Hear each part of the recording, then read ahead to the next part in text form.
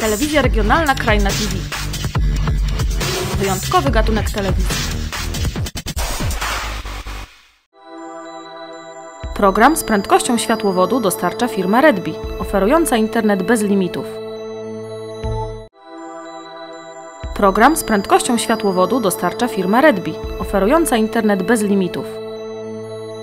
Dzień dobry, witamy pięknie. E, dzisiaj gość szczególny, gość niezwykły, prezes Stowarzyszenia Dorośli Dzieciom Jarosław Niemyjski. Cześć, witaj. Witaj, cześć. E, ale dzisiaj nie będziemy o stowarzyszeniu rozmawiać. E, To będzie trochę inna rozmowa niż do tej pory, bo właśnie do tej pory, jak się spotykaliśmy, to rozmawialiśmy o, o stowarzyszeniu. Dzisiaj zupełnie wyjątkowa sytuacja, jak powiedziałem na początku, dlatego że, mm, mm, e, dlatego, że chcemy porozmawiać o koronawirusie, o, o COVID-19, bo, no bo byłeś chory, zdaje się. No tak, no, no byłem. No, miałem tego pecha, czy, czy nie wiem jak to nazwać, że akurat y, tego wirusa y, COVID-19 no, złapałem. Czy teraz już jest wszystko w porządku? Może zacznijmy od tego.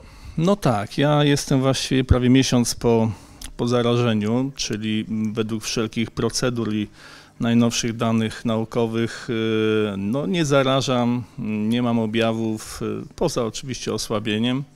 No jest okej. E, Oficjalnie, m, jak mówisz, jesteś ozdrowieńcem, mm, okej, to, to, to, co to znaczy, że jest okej? Bo tak optymizmem nie powiało. E, Co się kryje pod tym OK? No, no jakby taka świadomość, y, że to przeszedłem. E, No i wcale nie aż tak, tak mocno, jakby się mo- mogło wydawać. E, No, coś się zmieniło od, y, od kwietnia, prawda? E, Jeżeli chodzi o te wytyczne, nie wiem, czy rządu, czy Światowej Organizacji Zdrowia. I dlatego mówię, że jest ok, no bo mm, dzisiaj osoba, która mm, przechodzi kwarantannę 10-dniową, w zasadzie już po 8 dniach, które minęły od y, objawów, jest uznawana za osobę y, zdrową, nie zarażaj. No i tutaj ja sobie to dobrze przestudiowałem i, i, i takie badania robili naukowcy amerykańscy, australijscy rzeczywiście e, tak jest. No, y, może od, od razu powiem też, że to mnie też trochę niepokoiło, że nie było tych y, testów na wyjście. E, no ale Przepraszam, uważasz, że powinny być?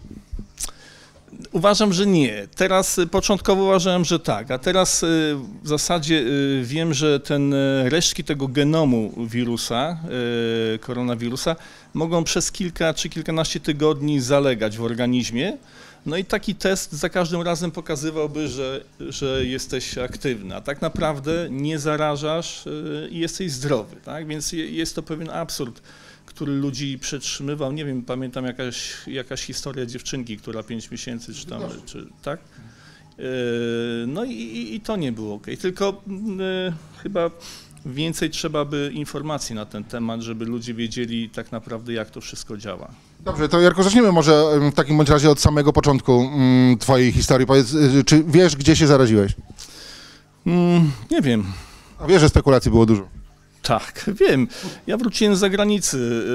yy, Byliśmy na takiej wizycie studyjnej, yy, gdzie no to, to jest powiązane z naszym, yy, z działaniem naszego stowarzyszenia. To są tak zwane komponenty zagraniczne do projektów, które robimy tutaj z rodzinami i Wiem, że różnie się prasa rozpisywała na ten temat, e, tylko że to, to jest takie krzywdzące, bo jeżeli, no dwa słowa o tym, jeżeli też jadą e, z naszego terenu osoby znaczące, bo też takie zabieramy, analizujemy, kto może nas reprezentować, kto może merytorycznie rozmawiać też na, na ten temat za granicą, to takie osoby bierzemy i, i to jest dla nas bardzo istotne. Zresztą nasze stowarzyszenie zawsze podejmowało takie decyzje, e, które były dobre dla nas, dla naszego rozwoju i dlatego, żebyśmy dla innych coś tam mogli y, sobą dawać.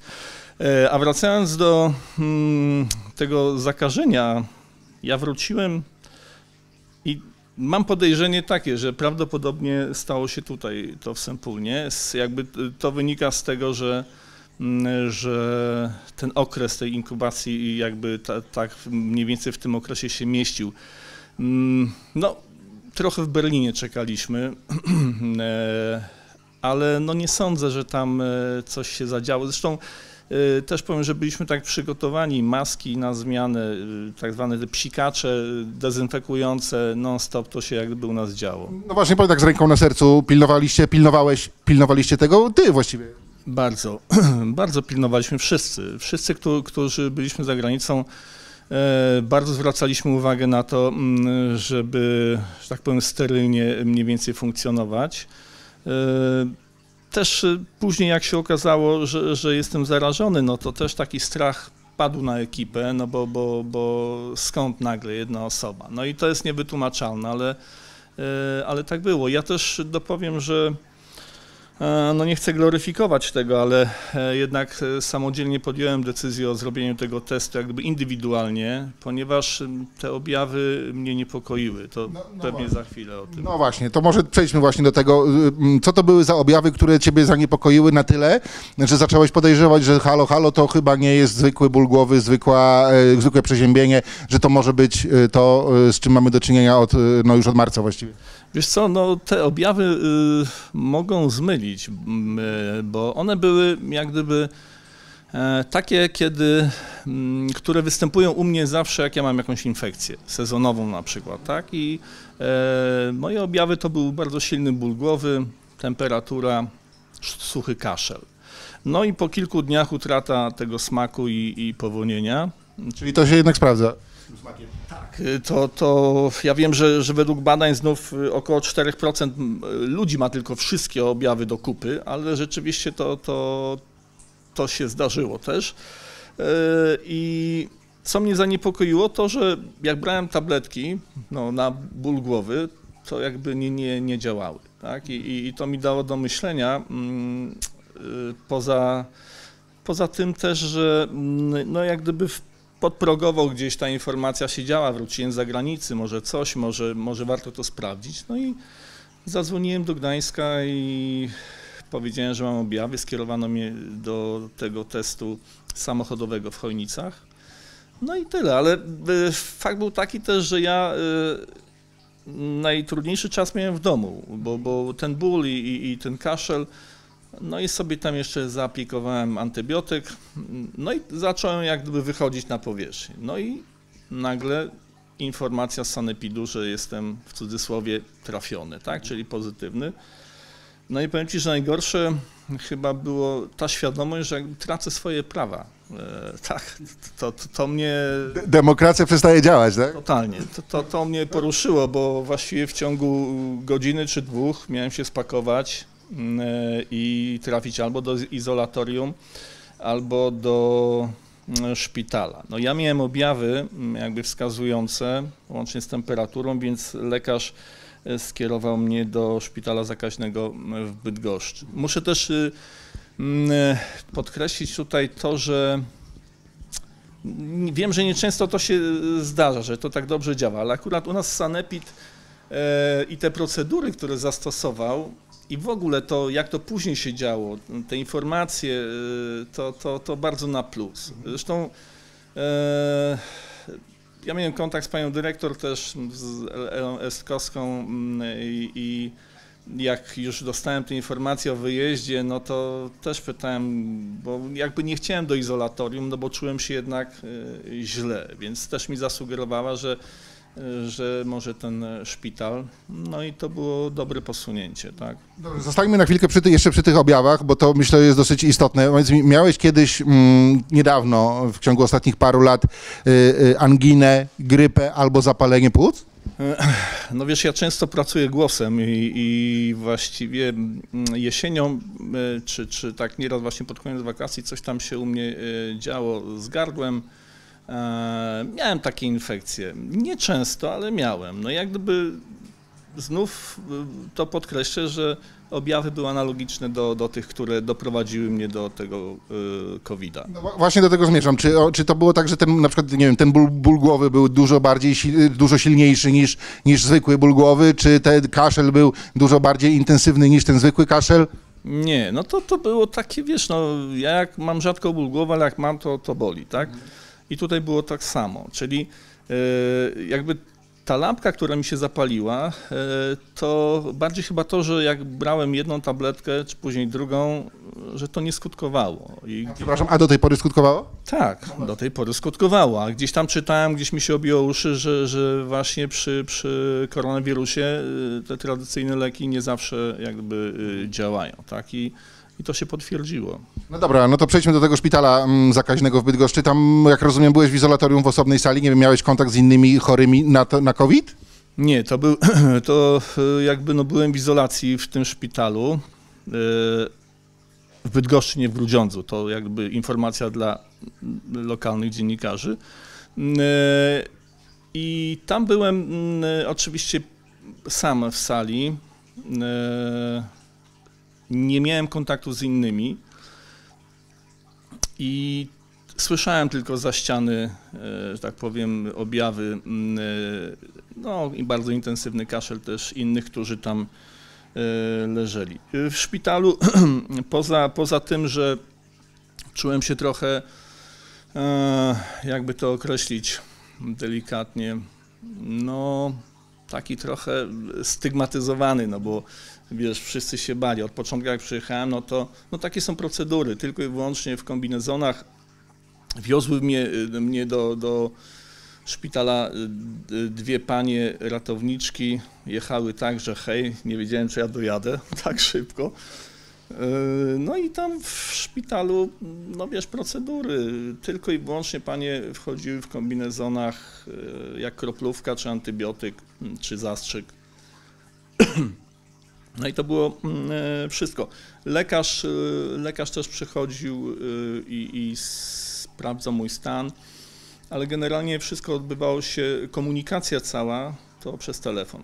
Czyli parametry, wszystko podawałem przez telefon, tam miałem swoje sprzęty, że tak powiem, i tak to działało. Czyli, czyli to nie jest zabawa? O nie, to nie jest zabawa. E, wiesz, ja też słyszę, czy czytam gdzieś tam na portalach mm, takie różne. Yy, informacje bagatelizujące e, ten problem. E, słyszę i widzę też, bo już funkcjonuje, jak ludzie chodzą bez masek w sklepach, to jest niedopuszczalne dla mnie, wiesz, w ogóle, bo to jest brak szacunku dla kogoś innego. Są różne osoby. Zresztą w koronawirusie nie ma żadnej stałości. Jeden to przejdzie lekko, drugi, drugi się położy, trzeci umrze. Więc zresztą takie różne informacje, które się pojawiają gdzieś tam e, w obiegu. Trochę na to zerkałem, ale kto, kto to mówi, kto to pisze? To są ludzie poza obiegiem naukowym, tak? Bardzo często tacy, którzy chcą zwrócić na siebie uwagę tylko. Ja, bardzo to fajnie, fajnie, że o tym wspomniałeś gdzieś tam przy końcu naszej rozmowy, bo ja szczerze mówiąc chciałem, e, chciałem o to zapytać. Jak sam wspomniałeś, gdzieś tam, gdzieś tam śledzisz ten internet, gdzieś tam e, te wszystkie e, komentarze różne tych wszystkich osób, które mówią, że koronawirusa nie ma, że pandemia to ściema, że, że, że to jest ogłupianie społeczeństwa i, i odbieranie praw i jeszcze nie wiadomo Bóg wie jakie, jakie inne rzeczy. No ale ty przeżyłeś tego wirusa. No przeżyłem. Y, no wiesz, nie mam żadnych objawów, poza teraz trochę mam sucho w gardle, ale y, no poza y, osłabieniem, tak? No to muszę powiedzieć, osłabienie jest mega. Mega silne, mam nadzieję, że ono szybko minie, minie ale to się odczuwa, tak? A co, a, co, a co sobie myślisz, jak czytasz te komentarze, jak czytasz, jak wchodzisz w internet, nie wiem, i widzisz te, i widzisz te wszystkie komentarze, to, to co sobie myślisz? Bo, bo bardzo fajne, też popularne pytanie e, e, takich ludzi, którzy przestają jakby e, w to wierzyć. Czy znasz, znasz kogoś, kto ma, kto ma wirusa? No ja znam, oprócz ciebie jeszcze jedną osobę, ale, ale, mm, ale no to też jest bardzo, bardzo fajne pytanie, e, e, fajne oczywiście w cudzysłowie.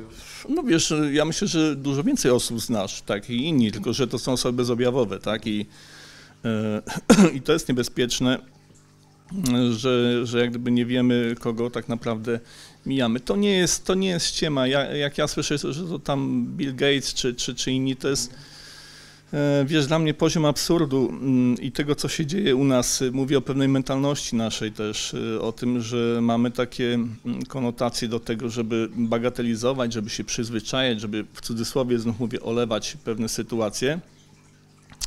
Bo początek był inny oczywiście, tak? Przepraszam, był ten strach, niepokój. Teraz jak się mówi, potocznie ludzie się przyzwyczaili. Tylko do czego? Dopiero jak to kogoś trafi, czy kogoś bliskiego, to zmienia nam się światopogląd. To trochę yy, tak jak z niepełnosprawnością, tak, że tych ludzi nie widać, dopiero jak coś się nam wydarzy, to inaczej na to patrzymy.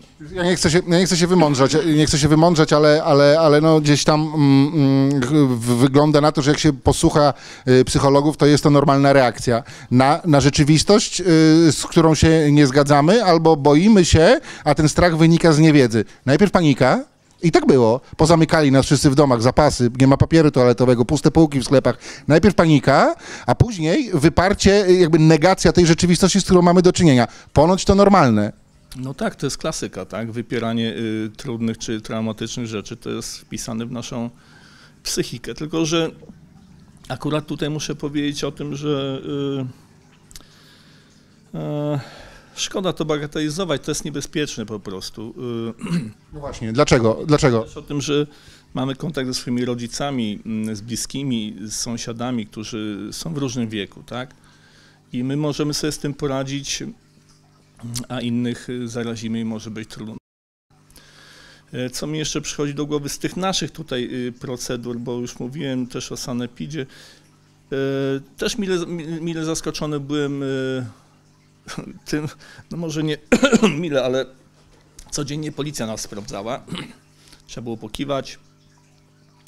Za każdym razem pytali, czy wszystko jest ok. To było, to było też miłe i takie budujące. Nie tylko od, o, odklepać, ale i, i porozmawiali. Także to było też e, fajne, jeżeli można to tak określić. Dobra, no to nie wiem, chyba myślę, że, że, że to tyle. Bardzo Ci dziękuję za rozmowę i, e, i póki to, póki jeszcze mamy cały czas e, z tym wirusem do czynienia, póki go nie opanowaliśmy, no to co, to nośmy maseczki, tak? No jak najbardziej. Ja, ja jak wychodzę już y, też z domu, już na klatce schodowej ubieram. To jest podstawa. No tu chodzi o to, żeby też jakby nie, nie chodzi o tą komunikację kropelkową, że tak powiem, tak? I tutaj jak jesteśmy jakoś zabezpieczeni, to też innych nie narażamy. Tylko to jest kwestia odpowiedzialności i tego, że że warto o to zadbać. Jak ktoś, przepraszam, olewa siebie, niech zadba o innych. To jest bardzo istotne, żebyśmy jakoś tu funkcjonowali razem. Bardzo Ci dziękuję za rozmowę, bardzo się e, cieszę, bardzo Ci dziękuję za to, że zgodzi- zgodziłeś się nam opowiedzieć, e, jak to było, jak to wyglądało, co o tym wszystkim sądzisz. Jarosław Niemyjski, ozdrowieniec, dzięki wielkie. Dziękuję bardzo też, dziękuję.